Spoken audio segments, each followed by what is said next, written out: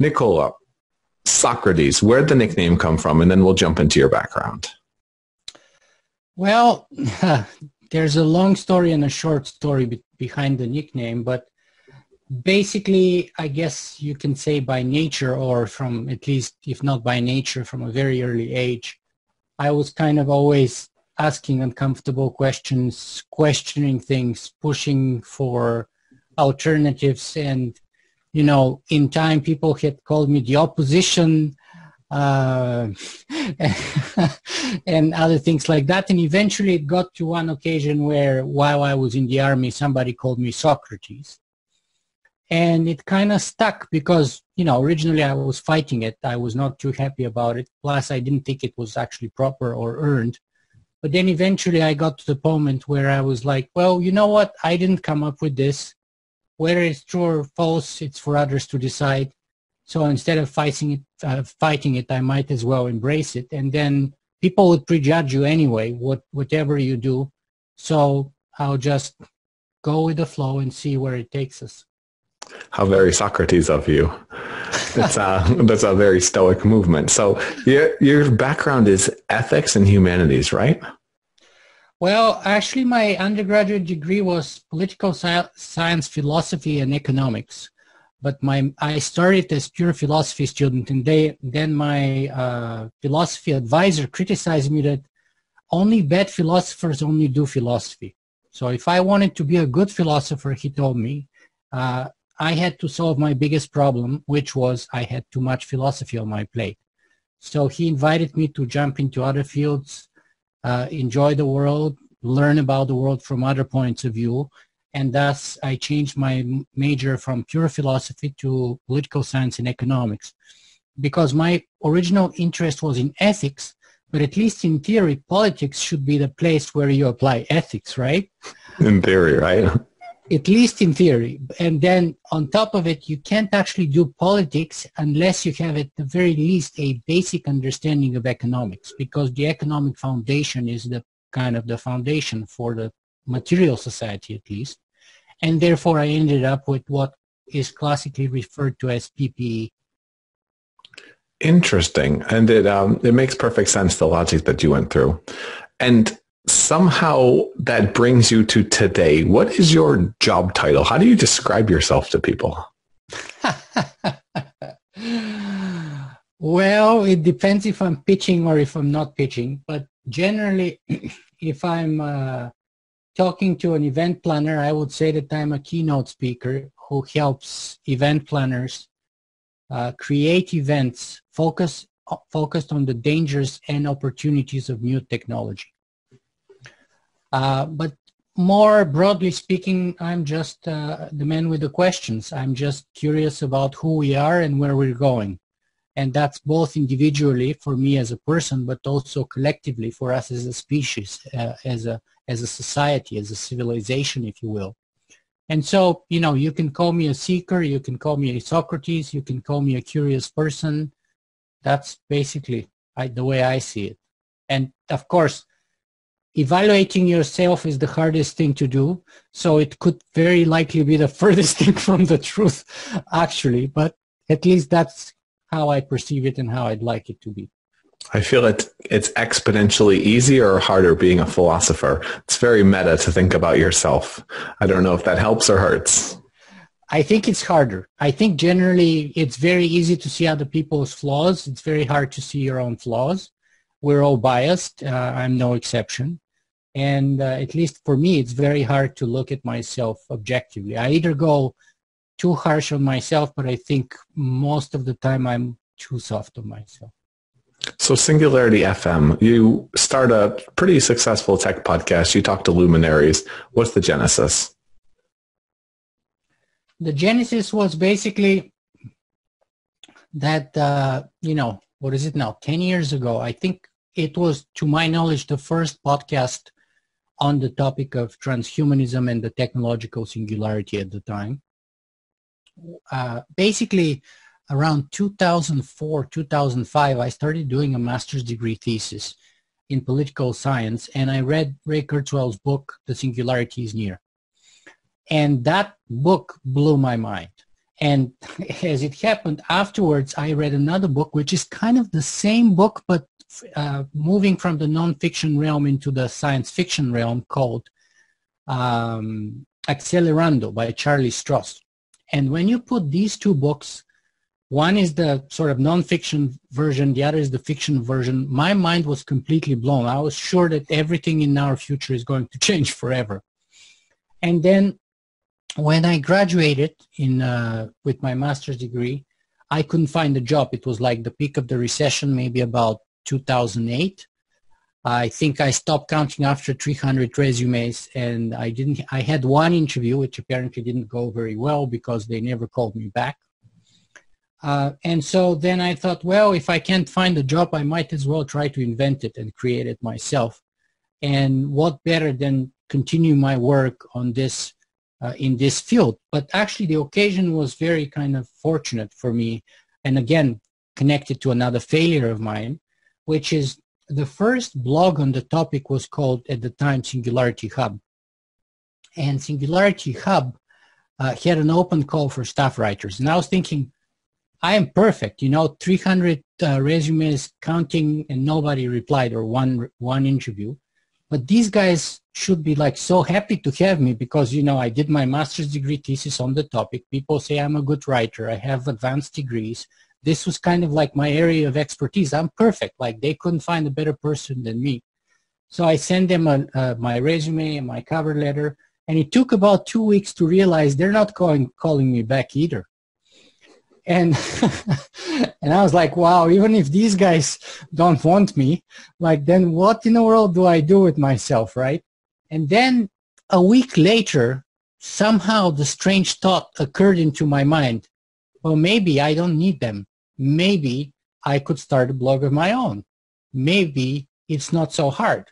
And you know, I was very scared at the time because I had no idea about web design, websites, web pages. And we're talking here 2008, 2009, when it was not so easy as it is today. And I knew nothing. You know, I don't have a technical or engineering or programming background of any kind. So it took me, I think, three months to self-teach myself HTML enough to put my first single-page homepage and another three months to create maybe 50 or 60 pages on my website, which was called Singularity Symposium, and it's still active. I haven't taken it down, but I haven't changed it since then. So for 10 years, it's the same. Did you say 50 or 60 pages? Yeah, yeah, 50 or 60 pages on that website. And then uh, about six months after I began my journey, I discovered WordPress. And I was like, oh my goodness, this is incredible. If you can type in a Word document, you can actually build your own website and you don't need to struggle with HTML anymore. This is like genius, right? So I switched from Singularity Symposium, which was HTML based, to singularityweblog.com and launched my WordPress website. And about six months later, around 2009, uh, fall, I think, of 2009, I heard about this crazy thing called podcasting and I was like, wow, this is so weird, you know. Uh, I'm kind of very scared to give it a try because, you know, I have a Bulgarian accent and people would, of course, prejudge me and say, look, this guy can't even speak proper English without accent. Why would I waste my time listening to him, right? So I was very scared. I had no knowledge of podcasting technology, audio gear of any kind whatsoever. And the thought of video at the time didn't even occur to me because I was scared to get in front of a microphone, let alone in front of a camera, right? But I was like, well, you know, I'm writing everything under an alias called Socrates. And of course, even though I never tried to hide my real name, I was like, so what's the worst thing that could fail? I could fail publicly. Big deal. I mean, anyone, anyway, no one's really, there's like 100 people coming to my website a month. Like, it was pathetic at the time, right? And so I decided I'd give it a try. I started podcasting, uh, and my first podcast was so terrible that I even failed to record the podcast properly. like I did a whole interview, and in the end, I go to check out the, the recording file. Oh, it didn't work. Something happened wrong and it just i had nothing yet, so i had to like go and apologize to my first guest and beg him to redo the whole interview now luckily for me he was a very nice guy James Harvey from Australia, and he wrote this book called Singularia. And so we did we redid the whole interview. But then in the process of doing that interview, I discovered it's very hard to do an interview, you know, when two people are at the, two opposite ends of the world without even seeing each other, just with audio, because it's hard to time the gaps and the, the silence and when you jump in and stuff. It, it's always so much more helpful if you can actually see the other person. So then I thought, well, why don't I turn on the webcam and you can turn on the webcam and I record both the audio and the video. And then after I ended up with the recording of both the audio and the video, I thought, well, I already have the audio and the video. Why would I post only the audio? I might as well post them both. And so before you realize it, I started doing video podcasting and, and posting the videos on YouTube and the audio on iTunes and everywhere else where you have the audios. And there you go. 10 years later, I have uh, 230, 40 interviews. I have a best-selling book. I had the first, supposedly, or the first, as I said, that I know of, podcast on the topic. And I've met many of the movers and shakers personally, or at least digitally. So it's been a good journey. What was the most exciting interview? Outside of the first one, which went terrible and didn't actually record and you were scared shitless. Outside of that one. Well, so, you know, do you have kids? I knew you were going to go there. You, I'm going to make you pick a favorite kid. You're going to have to be the dad that pisses off the mom. You know, my answer to that question is usually, you know, even if you have kids, it's very hard not to have favorites. But if you actually make that known, either with behavior or let alone with words, all kinds of negative implications would arise. Right? So uh, it is very unwise to say among your many children, if you have a few, which one is your favorite and which one is your least favorite. And likewise with my interviews, I feel that I've put effort to give birth to all of those things to happen. And, you know, many times I failed, a few times I've succeeded, but I've struggled for each of them and I've done my best usually. So I can't really push. It's, it's very unreasonable of me or unwise of me to go and start picking favorites. Spoken like a true philosopher. And if you're listening, kids, yes, he does have a favorite. Good luck figuring it out. So you come at this from a really interesting perspective of philosophy and ethics. And from I, have listened to most of your episodes; they're quite good. From most of your episodes, you play the you play the cynic, you play the critic, the person who tries to find the issues that optimistic technologists often often overlook. Would you categorize that as correct? Well, mostly yes, but again, my performance is not a steady line. Uh, it fluctuates over time. I have better moments and worse moments. I have interviews where I connect extremely well with the interviewee and I have moments where I fail to connect completely with them. I have had successes and I have failures. Uh, and so generally my uh, goal is to create a symposium because this is what Socrates was known for. He was the host, uh, or at least symbolically, in Plato's uh, dialogues and most importantly, the symposium, Socrates was the host where a bunch of people would go and have fun. And a symposium basically is a drinking party. It's a place where people go to have fun, to eat and drink, while at the same time discussing very important issues such as poetry, love, friendship, religion, uh, ethics, uh, aesthetics, beauty, uh, you know, good and evil, and all of those things death, uh, etc. And hopefully at the end of the day, if the host has done a great job, Socrates, that is to say, then he was actually being a midwife to his guests, giving birth to their own ideas. And so at the end of the party, people would not only leave drunk, but hopefully with a new understanding, with at least a little bit of a new insight of the subject that they were discussing. And so that's generally my goal. And that's if I've ever managed to accomplish it, that's accomplished through a sort of a dialectical method of investigation where I question my guests and sometimes I push them sometimes more, sometimes less.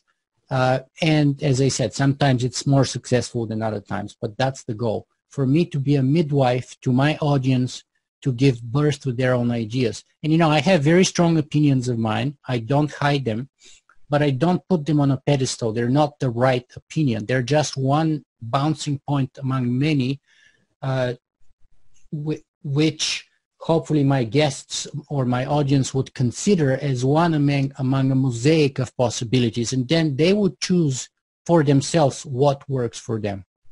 I would agree. I would say your opinion becomes more important and relevant the more people you interview because you do pull in those other outside perspectives where you have more to offer than your average Joe on the streets because you've thought about a lot more things.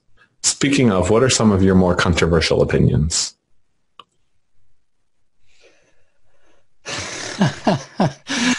well, uh, so uh, there's been a couple of times where I've gone sort of full out, if if I may say it that way. But perhaps the the the, the top two. The first one was uh, a speech that I did in Rotterdam a few years ago. I don't know if it was in 2015 or, or so, uh, called uh, the emperor has no clothes. Socrates deconstructs Singularity University. Uh, and so after I did that speech there, uh, basically uh, I kind of got blacklisted by some people and it, it made some pretty powerful people pretty upset. Uh, and they tried to take down my video and, and all kinds of other things ensued. Uh, so that was kind of one of the most controversial ones I've done. And in terms of simply the most heated debate that I've ever had on my actual podcast uh, was perhaps my debate with uh, Robin Hanson. And I did two or three interviews with him. And I think the second interview that I did with him uh, on his uh, most recent book, uh, which was called Ems, the Age of Em.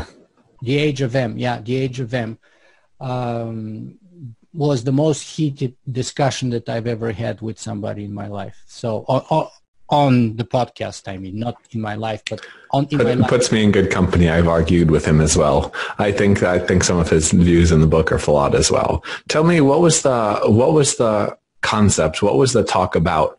The emperor has no clothes. Let's go through the the finer points. Oh, well, let me see if I can remember. So, so that was about five years ago, but basically, uh, if I remember off the top of my head, the idea is this. So it's about Singularity University.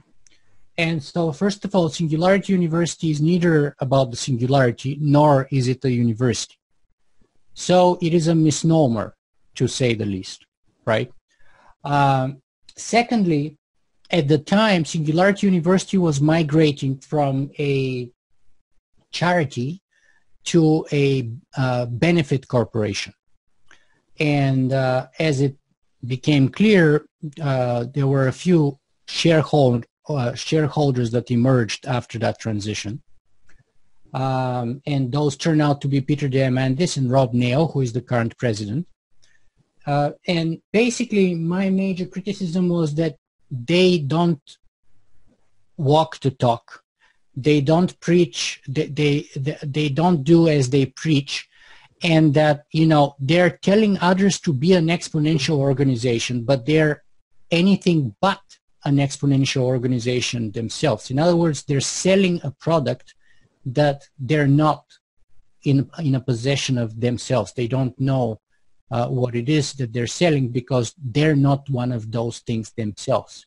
Because I believe, you see, from the Socratic point of view, that you are your message and you have to, you must live your message. And if you're not, then there's a fundamental problem. And it's an ethical problem, but it's also a, a problem of sort of trustworthiness and integrity, right? Uh, and so that was the major issue uh, and you know there are lots of more finer details. So I, I suggest people who are interested. Uh, the video is still up on YouTube. It's called uh, "The Emperor Has No Clothes: Socrates Deconstructs Singularity University," um, and basically in that video also I predicted that they are trying to accomplish something which is what's the traditional goal of any startup in Silicon Valley, and that's to say to say to go public or to be sold. And uh, at the time, that was kind of a ridiculous statement, and I didn't have. That was the only statement I made, or one of the very few statements I made at the time, which had no actual evidence to back it up at the time, but it was basically a projection based on their actions publicly uh, visible at the, that time. And then about a year ago, we real uh, we heard, and it became public information that actually the Boeing Corporation had invested about thirty million dollars in acquiring um, a great share of Singularity University. I forget if it's a third or a half now. And so today, the major shareholders are Peter Diamandis, Rob Nail, and the Boeing Corporation. And you know that my point, going back to the uh, to the original presentation I did in Rotterdam, was that there's nothing wrong with you know starting a corporation and selling it and becoming an accelerator, which they are. But those are very different things from you know solving humanity's grand challenges. And once you start serving two masters, and one master is like making money and cashing out, and fi- finding the highest bidder for what you have to offer. And the other master is like, uh, you know, solving humanity's grand challenges. In a moment when you have conflict of interest between these two, the money would likely win out.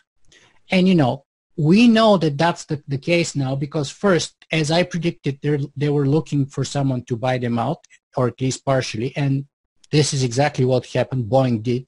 And we know Boeing couldn't care less about humanity's grand challenges for a number of reasons.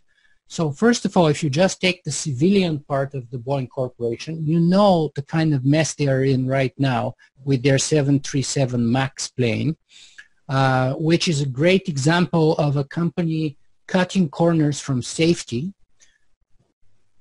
in order to create more uh, value for the shareholders and, and higher bonuses for the CEOs and the whole, you know, hierarchy there. And then when you add on top of that the fact that Boeing is, I think, if I remember off the top of my head, the fifth largest defense contractor in the United States of America, you know, meaning they're merchants of war.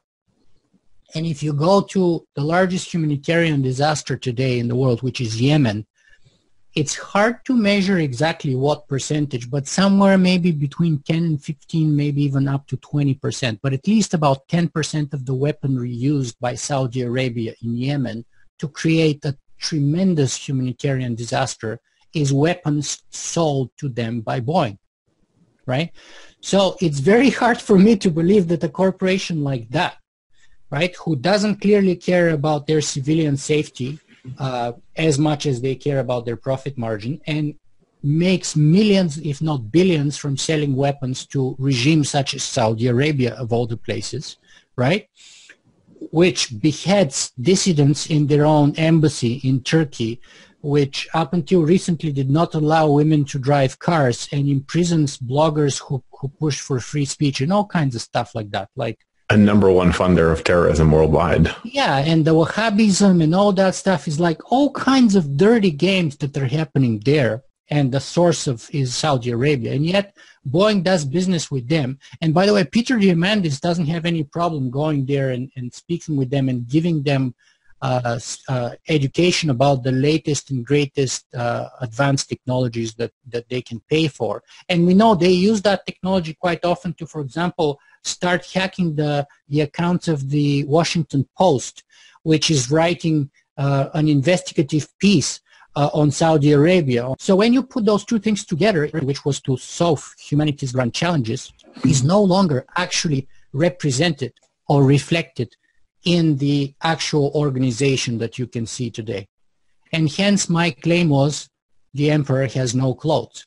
In other words, they present themselves as these nobly intended uh, people who uh, are going there with the noble goal to save the world, to solve humanity's grand challenging challenges, while at the same time they're trying to find all kinds of ways to cash out as much as possible, as fast as possible, from all kinds of unsavory corporations, states, and people. And I think those two things are incompatible. Yeah, I think it's interesting. I think there's definitely points there, but I think there's also definitely issues because if you create a dichotomy where you can't have a business that does good, what it makes me think of is the parody of charity where you're willing to donate money to something that has a really high efficiency or throughput in terms of how much of your donations go into doing greater good. But I also have listened to a TED talk. Guy was hired by one of the think pink type let's fight breast cancer movements and he had a budget of $90,000. What he did, he spent 100% of it on marketing and turns the 90,000 into something like 900,000 or 9 million dollars to spend on the cause. But he got fired because he didn't spend the money on technically what he was supposed to spend it on, which was fighting the cause. How do you think about the dichotomy of that where there can be potentially incentives that are misaligned. For instance, should we never have companies that have some type of public benefit type application behind them?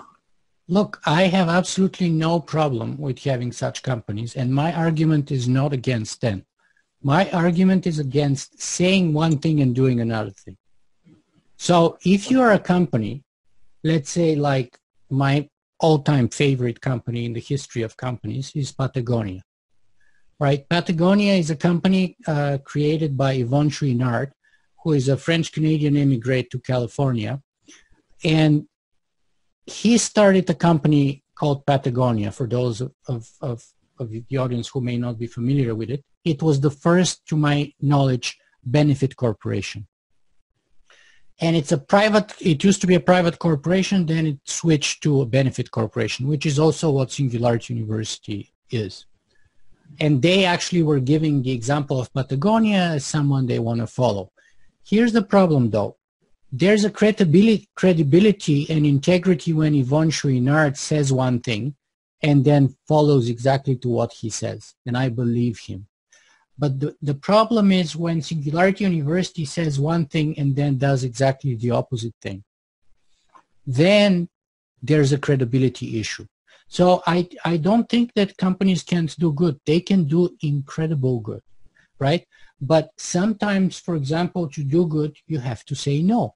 So, or simply because it's a distraction or simply because you don't want to take somebody's money. Uh, and uh, I forget what was the company, but they wanted to place a recent big order with Patagonia, and Patagonia basically turned them down and told them, uh, "We we don't want your money," basically right?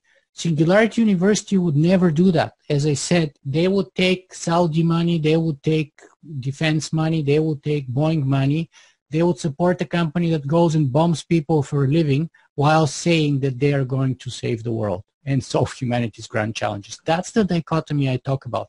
They would, the, the dichotomy I talk about is the fact that when you organize a Singularity Summit, everyone is supposed to work for free from the organizing committee usually or or most of them are, are, or at least that's how it used to be, are supposed to work for free, where Peter goes and takes a hundred thousand dollars for an hour speech. Right? That's the dichotomy. There's nothing wrong with making money, okay? But a good leader, what I learned in the army is a good leader leads from the front, okay?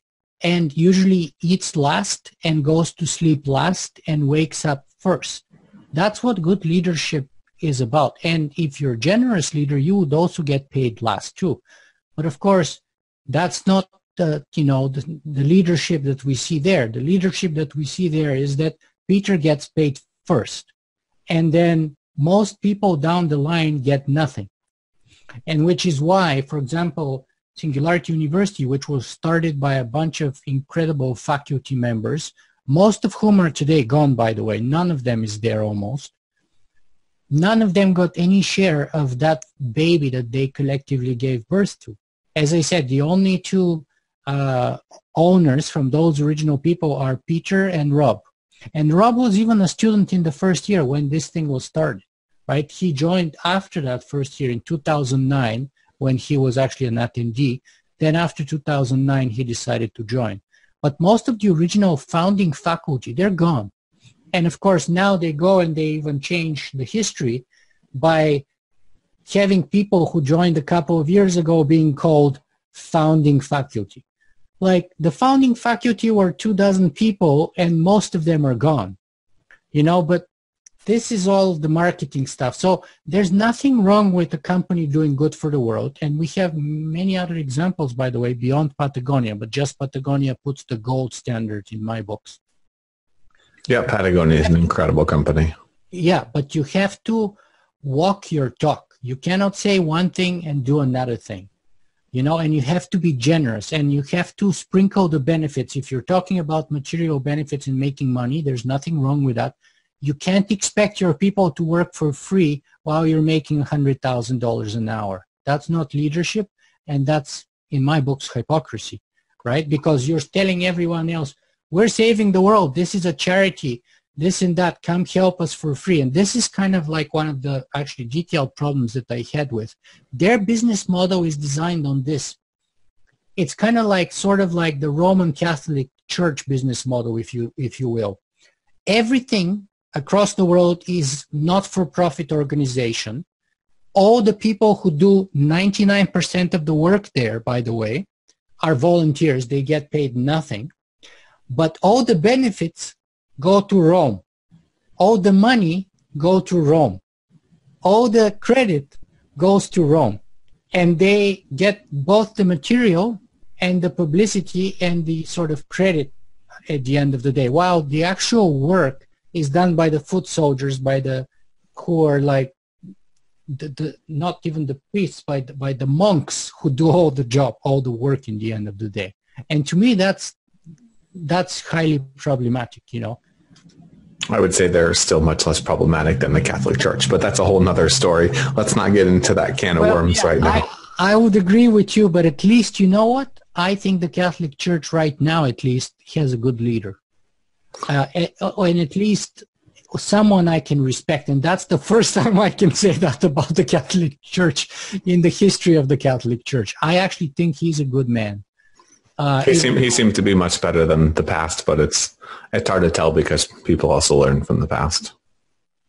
Yeah, and, and, and there's, you know, the Curia and they're trying to stop what he's trying to do and there's all kinds of issues. But I've actually put some work in sort of learning about both Pope Francis and about the, the church uh, for the last couple thousand years. And anyway, of its history. And I think as bad as it used to be right now, it's probably the better. It doesn't make it good overall or anything. But whereas with the leadership of SU, I have no faith in them whatsoever. Well, as someone who's from Syracuse and a big fan of Syracuse University, let's put a big hands up for the other SU. So I want to I want to transition this a little bit. I know in your early podcast you were much more optimistic about the singularity and transhumanism as a whole, and I feel like you've soured a little bit on both of those. Yeah, you feel correct. And uh, so basically, I started as a fanboy of the singularity, and hence the name yeah, hence the name Singularity Weblog, Singularity FM. And, you know, I kind of regretted it so many times afterwards that I actually gave it that name because then the name kind of became my brand and now it's kind of very hard to change, you know. But I decided to keep it. Anyway, so the main problem is this.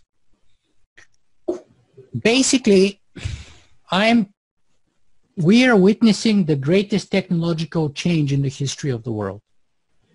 And, you know, this is true in genetics, robotics, nanotech, synthetic biology, 3D printing, cryptocurrencies, you name it. So that's absolutely commendable. It's positive. It's tremendous. It's amazing.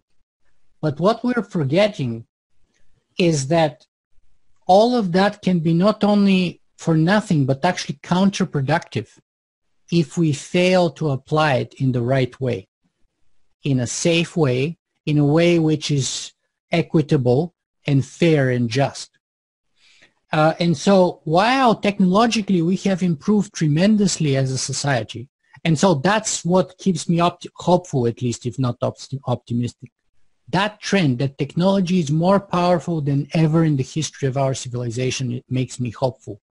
But what makes me very fearful is the fact that it seems that we have not been able to find the wisdom as a species as per how best to apply and utilize that technology. And we can witness that many actually of our so-called grand challenges are direct result of that problem because there's no such thing as climate change. There's no such thing as nuclear proliferation. There's no such thing as soil erosion. There's no such thing as, you know, plastic or other pollution in the sense that they're all the same problem, just representing itself in different realms. And the problem is our technological power far exceeding our wisdom to control and wisely utilize that power. So in other words, the gap between our capacity to do stuff and our ability to do stuff for good without self-destroying ourselves is growing apparently. And that's why we have climate change. That's why we have soil erosion. That's why we have the oceans in the state that we are today and plastic pollution and all kinds of terrible disaster all over the place. Right? And so the good news is that if we actually get our act together in terms of the wisdom part, in terms of how to best apply that technology for the benefit of you know all sentient beings on our planet hopefully not only for the human species which would be a good start but even for all sentient beings i hope then with that super powerful technology nothing is impossible the, the, the bad news is that right now it looks like we're not doing that. The bad news is that right now it looks like we're basically cutting the branch we're all sitting on. And, and, and I don't see it changing, unfortunately. So, so that's, uh, and, and, you know, that's, that's, that's what really worries me.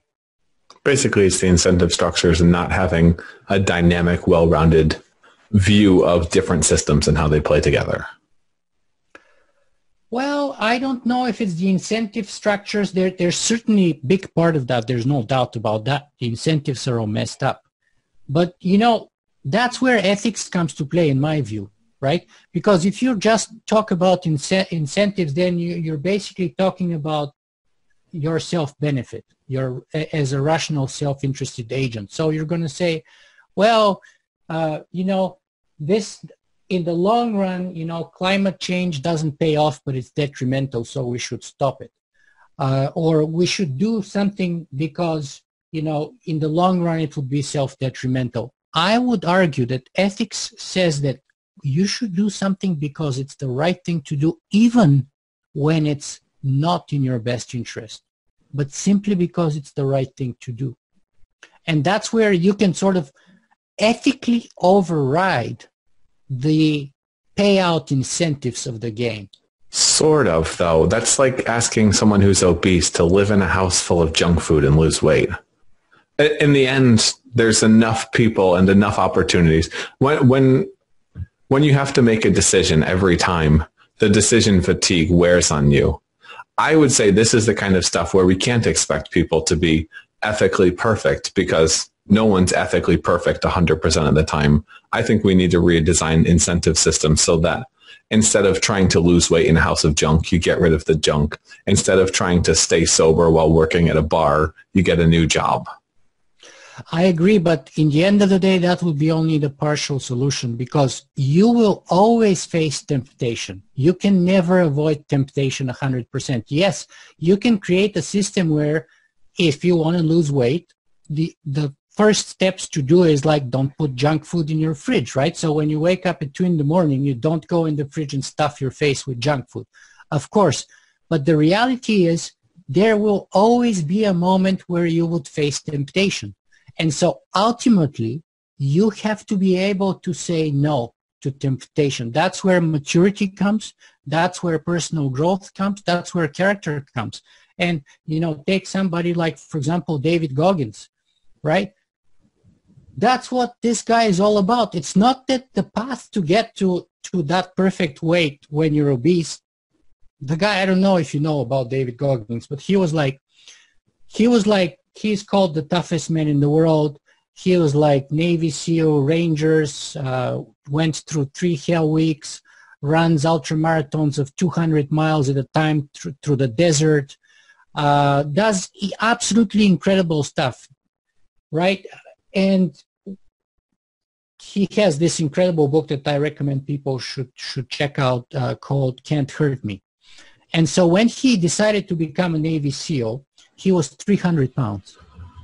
So he went to a recruiter and and first he's black and second he's 300 pounds and there's only been like 37 black navy seals from world war ii or from when the navy seals started until today it's basically a white men's club most of the time by like 90 some percent margin so when the first recruiter looked at him at 300 pounds where his weight to be recruited as a navy seal should have been something like 180 pounds or something like that he almost laughed him out of the room right Finally, he found the recruiter who told him, if you lose the weight, uh, I, I, will, I will give you a chance. And guess how much time he had? 60 days. The guy had 60 days to lose 120 pounds. Okay? And in six and in 60 days, he went through the utterly most hell of hells of hells you can imagine but he lost 120 pounds. Then he went through Hell Week, failed because he had an injury. Went through a second Hell Week, he failed again, and went through and succeeded only on the third Hell Week. Right? And so my point is that eventually the ultimate change is not outside, it's inside here. And you have to be able to say no to temptation because you will never have a perfect world in which temptation doesn't exist. So yeah, it helps if you change your incentives. That's necessary. It's insufficient. I would say you're right and wrong. So let's say every time that XYZ person has, every time they see junk food, they have a 1% chance of trying it. Though they're either able to try to reduce that 1% down, but if they're not reducing the incidence, they're seeing the junk food, it doesn't matter or they reduce the incidence they see the junk food, in which case it's a large, large impact. I just feel like as human beings, we're not able, we're not physically able, no matter how hard you are to be motivated, to 100% resist all temptation. I think that's utopia. I think that's what people write about and it always goes wrong. It's called dystopia.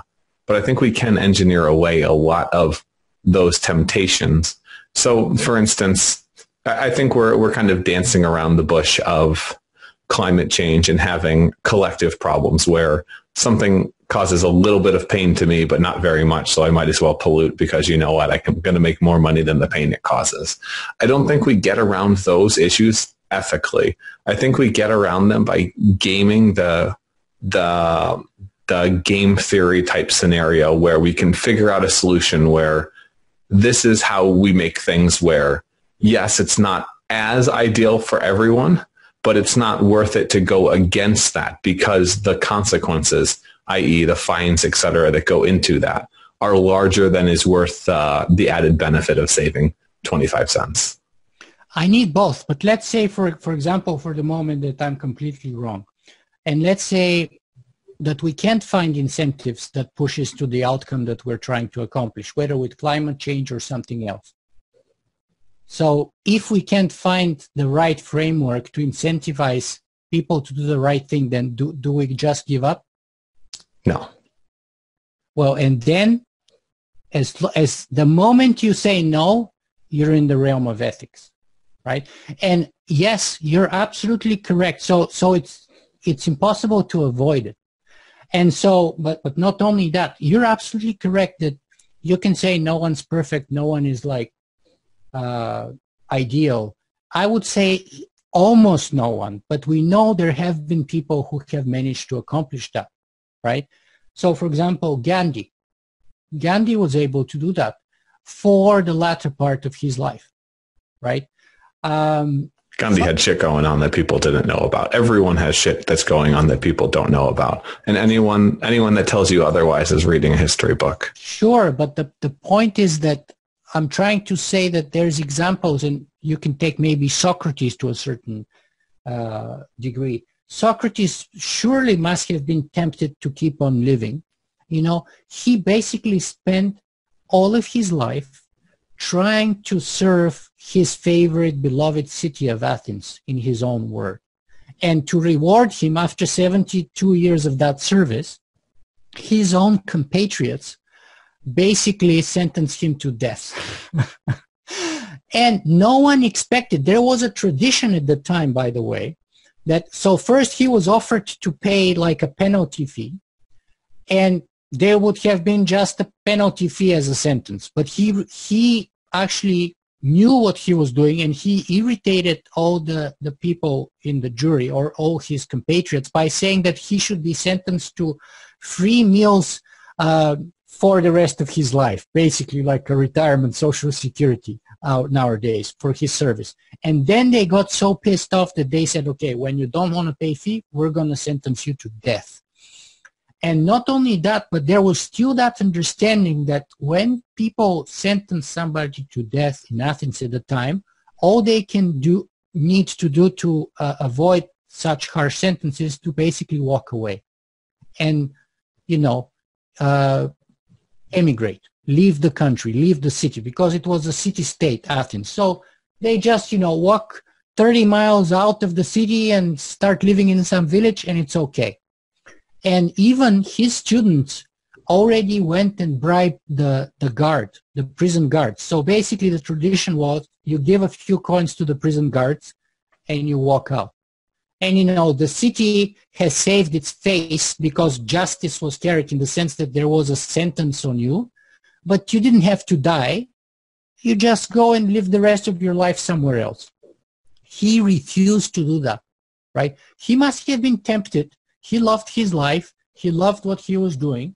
And yet he decided, I'm not going to, I have served all my life this city, and now it would be hypocritical of me to not follow through on what the city has kind of sentenced me to do. and so he drank the poison and he died.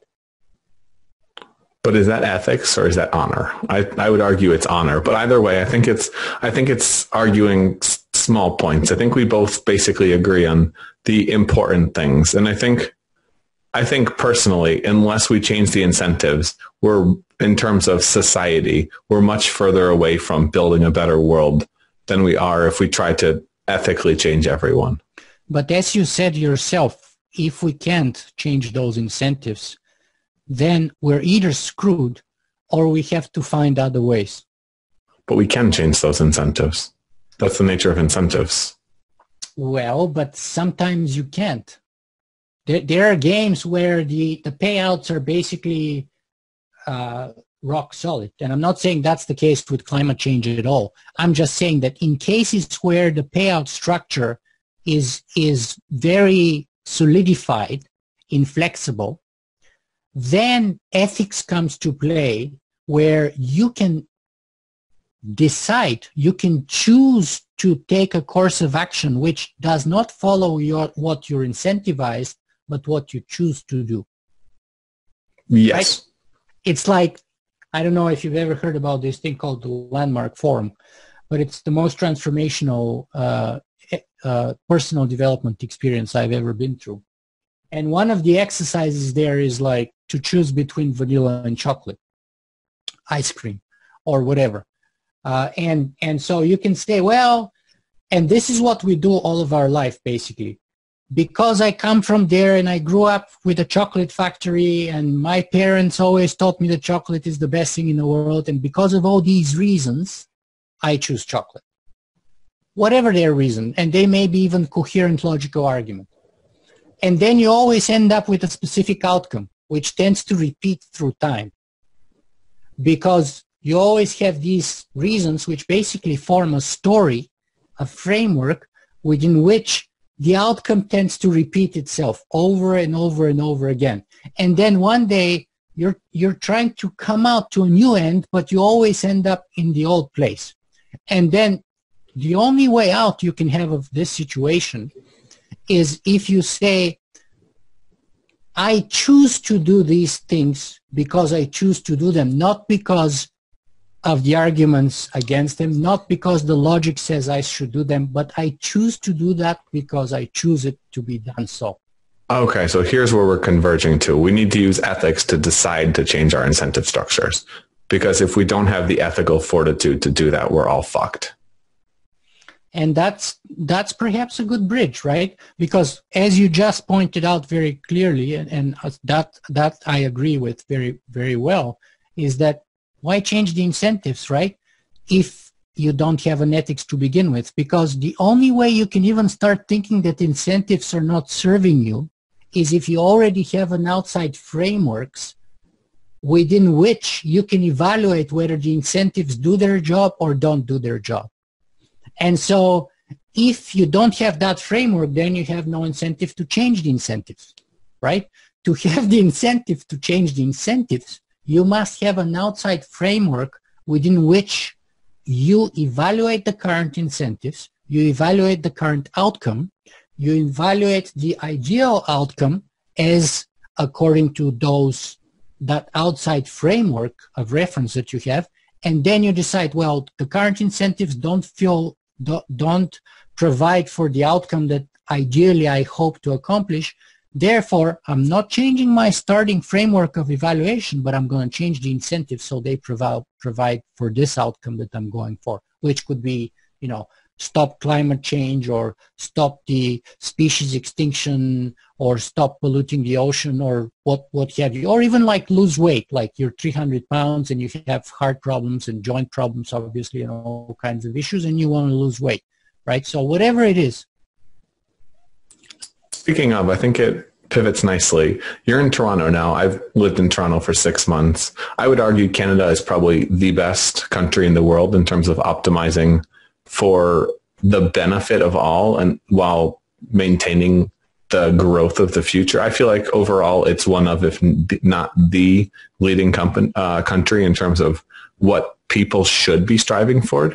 I'm curious where you think the direction of democracies, the direction of nation states, of people's organization goes. Is it capitalist? Is it socialist? Is it communist? Assuming that we survive the next century. So let me start by saying that I'm a Canadian citizen, very proud Canadian citizen by choice, not by birth. I was born in Bulgaria and grew up behind the Iron Curtain during the Cold War, and I was 13 years old when the wall collapsed. So I became Canadian by choice. I came here alone uh, by myself, not with my family, and I'm very proud Canadian, and I love Canada. And and as Bono put it once, the world needs more Canada. That's for sure. Uh, and Canada is a very, very, very good place to be, and I'm very grateful for it. But I think, you know, putting away petty nationalism, we can learn from everywhere. And we can learn from everyone. There's a lot of things we can learn uh, from the United States, despite the fact that the United States has huge problems, just like Canada has huge problems, even though the United States has bigger problems, in my opinion. But we can learn still from the United States about many things. But generally speaking, uh, I think from the developed world, my favorite places to be, you know, I'm a keynote speaker, so I go and, and visit places when I speak. I think the Scandinavian countries in my book are the best example of kind of reaching that balance. And I'll tell you why. So however you, you look at it, because which country you pick will depend, depend again on that outside framework of reference that we call ethics. And different people have a different framework and therefore pick different countries as best representative of that particular framework that they embrace. So if your framework includes measurable factors such as longevity, happiness, um, health, uh, free time, um, uh, incarceration or crime rates, um, income equality, uh, inequality, yeah, education and healthcare. I would say that most of those factors are uh, best optimized in the Scandinavian countries. So on average, so just to give you an example between Canada and US, because I know the numbers, they're better, Canadians live almost four years longer than Americans on average. right? We are on average happier than Americans, as self-reported. We work less. Uh, the Scandinavians work even less than we do, by the way. Uh, we are we we are better educated on average. We travel more around the world. Uh, we are healthier. We have lower uh, weight. We have a little bit uh, lower degrees of uh, cardiovascular disease and especially obesity. We have lower crime rates. We have better basketball, as we know. I like I like to say Canada is U.S. without the bullshit. But in terms of the Scandinavian countries, I, I should have prefaced the question with that. I feel like the I feel like they are clearly the ideal, but I think there's two mitigating factors which make it not quite a fair comparison. And one is just the the size so and general everybody's the same. So it makes society a lot easier when you have six million white Finnish people, at least historically, in terms of keeping social cohesion. It makes things much easier. And it makes much things much easier economically when Norway has a godload of oil and is able to create a sovereign national wealth fund to essentially create a UBI for all of its citizens. It, you know, Sweden took 1 million refugees. I know this is more recently, but they're having a lot of issues now in terms of in terms of populist pushback, especially from. Yeah, they, everything comes at a price, but they're still much better off than both Canada and the U.S. Okay, I think. Right. So yes, there there have been problems. There there's been trouble. Nothing is perfect. They still live longer. They still have lower crime rates. They they still have better education. They're still lower weight than us, they still suffer less from obesity and cardiovascular disease.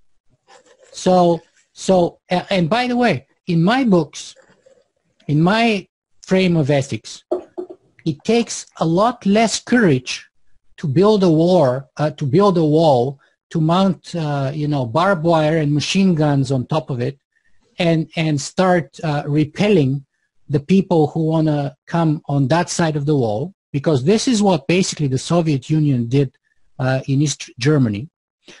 And it takes much more courage to actually tear down walls, to welcome people who are different than you, and start the long-term process, which is very costly, very expensive, and very slow, and you're not going to win always, of basically embracing people and, and lifting people up from different backgrounds and from different cultural, social, religious, or ethnic uh, backgrounds. That is much more courageous, much slower process, much more expensive, and and and much more commendable in my in my opinion. Let me just give you another example. Last year, Canada took the largest number of refugees. So Toronto is the most diverse place I've ever seen in the world. It was incredible. Well, 70 2% I think of Toronto. So tell me how is this possible if your argument is true? In Toronto, 72% of people were born not outside of Toronto. We were born outside of Canada. So how are we able to keep social cohesion if 72% of No, that was my point. That's why Canada, that's why I was arguing Canada was the best country in the world because they had handled these things so well. They'd integrated people so well. They had yes. such a good social system. And we still have a long way to go. We have many failures where we didn't do a good job of that, by the way. Yet we're doing it relatively okay. We're doing it better than most other people. But I think the Swedes are making progress and many others. Denmark is making progress uh, Germany also took a million refugees, by the way, too. Germany was the first country, but if you look at size, Sweden compared to Germany, Sweden is like 10 or 12 times smaller in terms of population. So it's one thing for Germany, which is, I don't know, 80 or 90 million people to take 1 million refugee. It's another thing for Sweden that's like, I don't know, 8 or 9 million people, I forget the number, to take 1 million refugees. That's incomparable, right? It's like Uh, 10% of the population almost. You know, it's, it's crazy high number. It's insanely brave, right? So yes, there will be lots of trouble afterwards. There will be lots of things to be solved on, on an ongoing basis. That That's a process that will take decades. I think it's still worth it. And just to give you an example, Canada is of course 10 times smaller than the US. We took more refugees than the US last year. Right? Not, not surprised and I'm not talking relative because before that we always have taken more than the United States relative to our population. I'm talking in absolute terms. Last year you took 20 some thousand, we took almost 35,000. So not quite double, but maybe 50% more than you. And we're 10 times smaller. And that was only last year, right? So all I'm saying is that it's here. It, and of course, you're a richer country. You have better technology. You have more billionaires. You have. Is that a good thing though? That's, I think, part of the genesis of the question is ultimately in the future, in a hundred years, if we're still around, are we capitalist or has the world gone to a more European, Canadian type socialism? Well, I'm afraid that if we go, so, so the answer, the short answer is I don't know. But my concern is that the situation, and that's another problem that I had, by the way, with Singularity University. So let me hit two birds with one stone here. And that was when I was in Silicon Valley, they would say, look, everything around us would change. This technology is exponential. This technology is disruptive. You know, genetics, robotics, nanotech, synthetic biology, 3D printing, cryptocurrencies, everything we know about our world, life expectancy, longevity, transhumanism, AI, everything will change. But the system that we live in, capitalism as we know it, will not change. And I'm like, how is that possible? Like, you cannot have fundamental revolutionary radically changes here and somehow this part of the system remains independent of them. Like everything is connected, everything flows. So if you have a change here, inevitably you will have a change there. So it will evolve. You know, political systems, I'm a big believer in capitalism because I grew up in communism. And yet I'm a capitalist critic at the same time, if you can believe that kind of contradiction perhaps.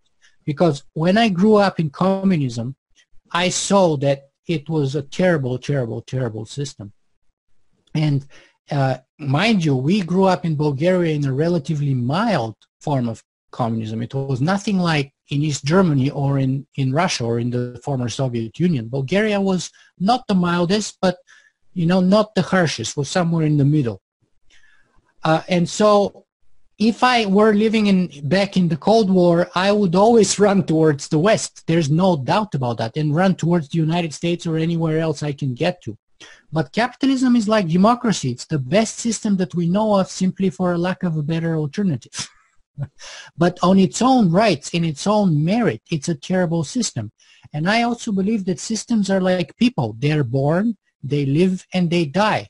And that's what the historical process is all about. You know, we had hunter-gatherer society, we had the agrarian revolution, then we had feudalism, then we had capitalism, we had brief period of fascism and communism, capitalism overruled. Now we're getting to a point where capitalism either has to evolve and kind of uh, hybrid hybridizes or sort of upgrades itself some way or another and becomes you know capitalism with a human face or in a new way or we're basically risking to go extinct all of us because one thing is clear we cannot keep doing business as usual as a species our planet cannot survive it there, there was a great cartoon and you see these two, I think bankers, Wall Street guys sitting there on the edge of the world as it's burning. And they're like, well, you know, for a while there, we had a good run. We created some solid shareholder value. Yeah. And I, I would agree with you. It seems arrogant to assume that everything can change except something because everything is tied to everything it's um it's one of those paradoxes that I have, and I think we're I think we're pretty well aligned in terms of how we view a lot of things when it comes to the world and, and the dynamics. I think Singularity University missed their biggest opportunity because they're basically uh, innovating, if that could be called, on the margins in the safe zone of area, which is basically they create they're they've become an accelerator for startup companies, and they believe that basically you can provide new solutions that would save us in the old system. Incremental change versus exponential or stepwise. And I'm saying you have to absolutely radically transform not only the solution, but even the system. Does that happen without war and violence? Well, that's a big question. And so historically, the answer has been no. Uh, I hope we can we can do better. I hope it can happen without that. But history is against me. So ideologically, I hope that doesn't happen again, but, but I would be surprised if it's not the case because historically, as I said, every time that we've had major social, political, economic change, we've had large scales of violence. And now with those, uh, you know, exponential, disruptive and ever more powerful technologies, the, the, the stakes are higher than ever because we're talking survival of the human species. We're talking survival of our whole planet our civilization. Um, Could automation be the thing that kicks that into gear? I, for one, see the U.S. as one of the worst positioned countries when it comes to automation because we don't have a social system of any kind of net. People don't, I, I mean, it's hard to say, but at least the system doesn't care if you make it or not. At least in Europe, at least in Canada, you have something to fall back on. And that means the structures are built to potentially build something post jobs if that's necessary. Right. So, so let me give you the bad news and the good news. So the bad news is that in the United States, the idea that if you don't work, you don't deserve to eat is very foundational and very strong. Uh, so people have developed this kind of, I don't want to say lack of compassion, but the foundational idea is you don't work, you don't deserve to eat. You're not entitled to medical support. You're not entitled to anything. And if you want to have anything, work, right? And that's fine and all if you're like, I don't know, in the 17th century, uh, you know, uh, coming from the old world to the new world and stuff like that. But today, uh, when you have the high potential of technological employment, uh, where machines can replace, million, replace millions upon millions of people, that kind of old idea may be very, very dangerous. So the good news, though, is that people's mind can change. For example, let me give you two things that basically came out of almost nowhere or surprised us with the, the sort of the speed of development. So first was the legalization of marijuana. Like just 10 years ago, if you tell there'll be tell people there will be so many states that legalize marijuana, you know, people would say that's impossible. But in basically a decade or so, that kind of, you know, shifted 180 degrees. And the same happened with gay marriage, by the way. And now we're seeing a lot of pushback in some states. Uh, but generally, the public opinion has swayed in favor of both in both of those and that was not easily predictable maybe 15 years ago at least most people that i know of and i myself would never have predicted it for the us you know it happened in canada here with the legalization of gay marriage well over a decade ago i think. But i would have never foreseen that happening in the states as quickly as it happened. So there is hope that people's minds can change for the better and that we can make progress, right?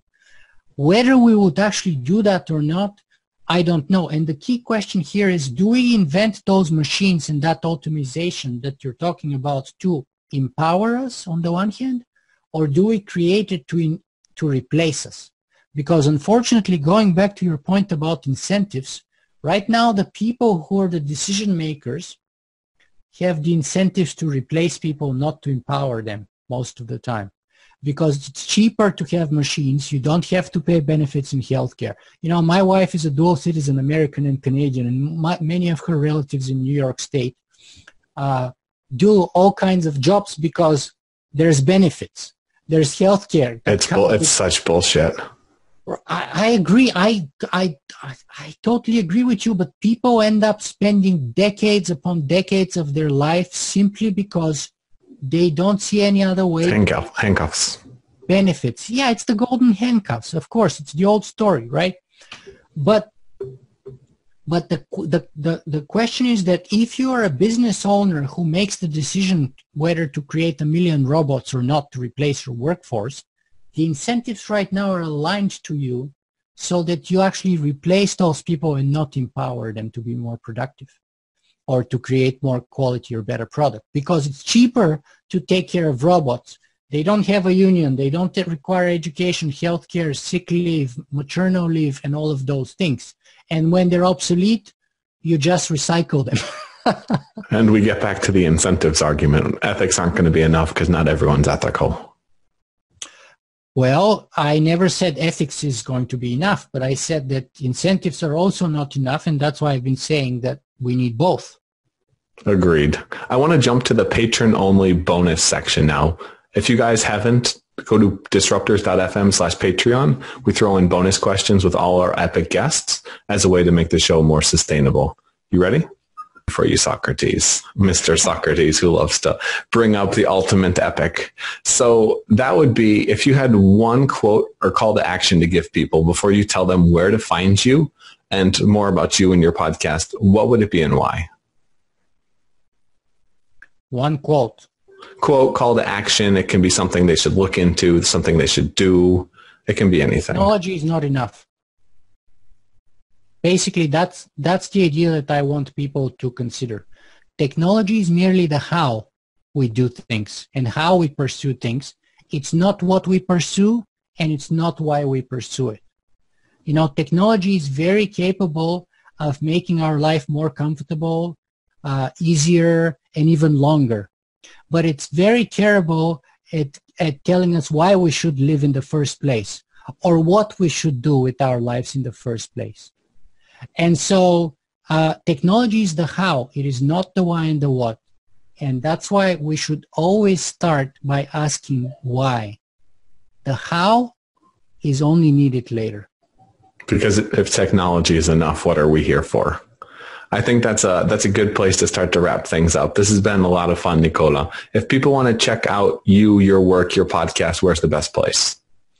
Well, uh, you can simply go to singularity.info and I have links there to everything.